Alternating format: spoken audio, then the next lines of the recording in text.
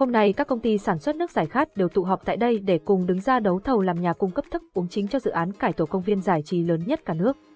Việc lựa chọn lại nhà cung cấp nước uống sẽ diễn ra trong vòng 2 ngày. Ngày đầu tiên họ sẽ lần lượt thử tất cả các loại nước và ngày tiếp theo các công ty sẽ phải trình bày dự toán chi tiết cho bọn họ. Đây được xem như là một tin xấu đối với công ty của Kenta, vì đây vốn dĩ là một trong những khách hàng chính của họ ở Tokyo. Nếu để mất hợp đồng này thì bọn họ sẽ thiệt hại rất nghiêm trọng. Trưởng phòng liền giao cho Nam Chính cùng anh Béo thực hiện nhiệm vụ cao cả này. Trong khi đối thủ thu hút khách hàng dùng thử nước của mình thì anh Béo lại ấp a ấp úng chân tay run cầm cập chẳng nói nên lời. Nước của bọn họ hình thức cũng chả bắt mắt bằng phía đối thủ, hương vị cũng không quá nổi bật so với nhãn hàng kia. Đã vậy danh tiếng thì cũng thua xa. Giám đốc không vội thử nước của họ mà lại muốn nghe xem công ty của Kenta có gì nổi trội hơn đối thủ nhưng câu trả lời lạc quan của anh lại khiến cả văn phòng phỉ cười. Hôm nay xem như đã thất bại nặng nề, nam chính động viên đồng nghiệp mọi thứ vẫn chưa kết thúc và họ vẫn còn cơ hội vào ngày mai sau đó đi tìm đồ ăn cay để giải tỏa căng thẳng. Hai người quyết định sẽ ăn hamburger Mỹ với phần thịt bò được trộn gia vị cùng một ớt mà siêu cay được cán dẹp áp chảo chín đều hai mặt ăn kèm cùng rau và phô mai để tăng thêm hương vị.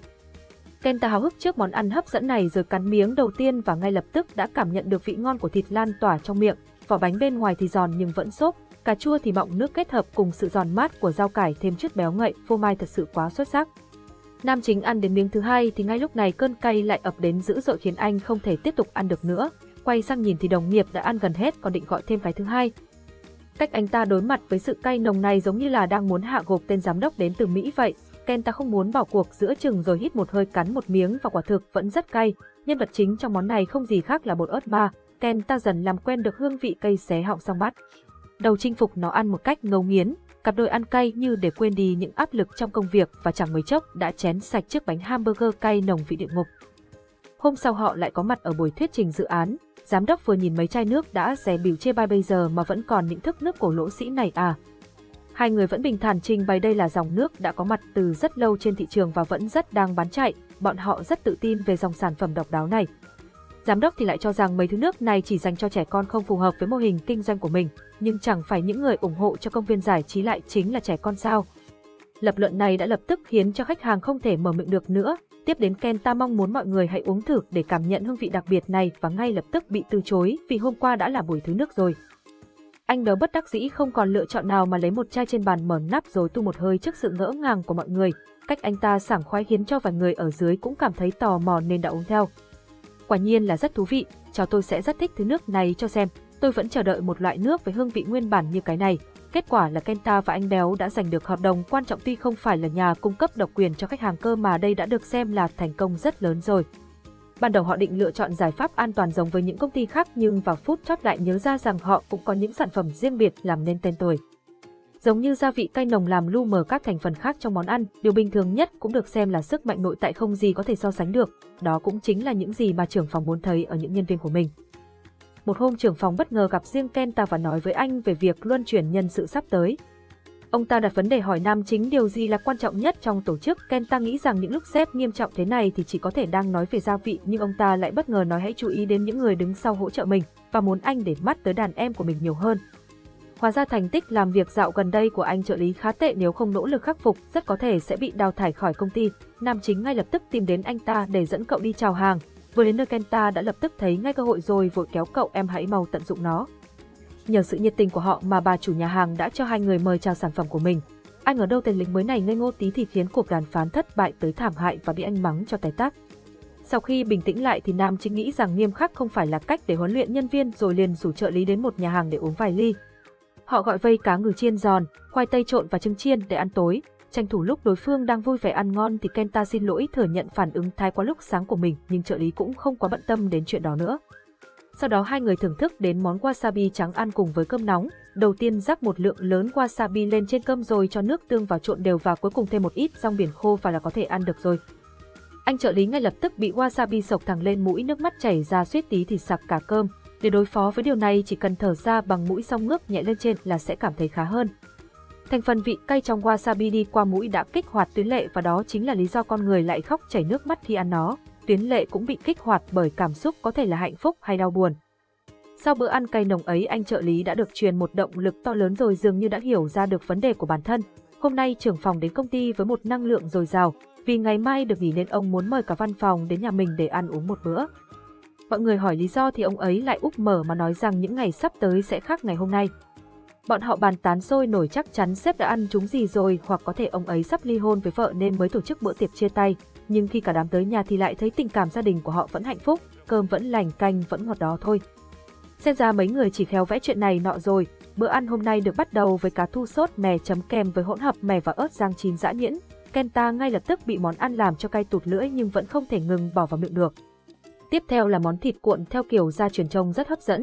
Nam chính đắc ý món này trông chắc không cay đâu nhưng ai ngờ bên trong thịt cuộn lại là ớt xanh khiến cho Kenta vừa cắn miếng đầu tiên là nổi hết gai óc. Cơ mà món này như chơi đớ vậy vì càng ăn càng cuốn khiến mọi người ai nấy đều thưởng thức. Nó một cách ngon lành. Món tiếp theo là lẩu lòng kiểu Tenioka và cũng là món cay nhất trong những món nãy giờ. Tuy vậy vị cay này rất tinh tế khi không lấn át đi vị tươi của trứng cá tuyết, nó hòa quyện vào nhau cùng vị thanh nhẹ của lòng với rau xanh. Trông thấy mọi người ăn ngon miệng khiến trưởng phòng rất vui lòng. Sau bữa ăn bọn họ ngồi lại trò chuyện cùng nhau về đủ thứ chủ đề đến khi nhìn lại thì cả bọn đã về hết. Kenta về sau cùng nên may mắn lại được nhà xếp mời thưởng thức thêm một món mì đặc biệt nữa. Dù đã ăn rất no nhưng khi nhìn thấy món này làm bụng của anh chàng lại sôi sùng sục.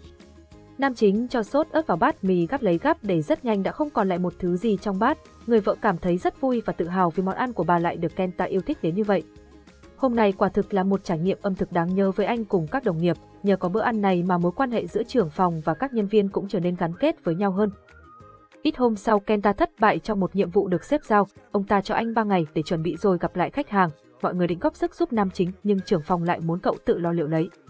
Biểu hiện của sếp rất lạ so với thường ngày khiến cho Kenta cảm thấy rất khó hiểu cơ mà anh không có thời gian để nghĩ nhiều về việc đó mà tận dụng hết cả đêm để hoàn thành công việc. Sáng hôm sau Kenta tỏ ra rất tự tin với bản kế hoạch của mình nhưng khi vừa xem qua vài trang trưởng phòng đã tỏ ý không hài lòng và yêu cầu anh nên làm lại nó, mặc dù các đồng nghiệp đã ra sức nói đỡ cho nhưng quyết định cuối cùng vẫn thuộc về trưởng phòng. Kenta chăn trở không biết bản kế hoạch đã mắc lỗi gì khiến sếp không hài lòng như vậy, nghĩ mãi vẫn chưa ra cách nào để khắc phục khiến anh chàng cũng đành bó tay luôn rồi. Có thực với vực được đạo, Kenta quyết định vào bếp kiếm gì bỏ bụng trước rồi tính, anh áp chảo thịt ba chỉ với nước tương sau đó đập trứng vào rồi kẹp chung với bánh sandwich là hoàn thành bữa ăn nhanh gọn chống đói. Dù đã rất nỗ lực làm việc suốt đêm nhưng hôm sau nam chính vẫn nhận được kết quả không khả quan hơn là mấy. Đồng nghiệp bức xúc cảm thấy tội nghiệp cho Kenta khi mà sếp có vẻ như đang cố tình gây khó dễ cho anh.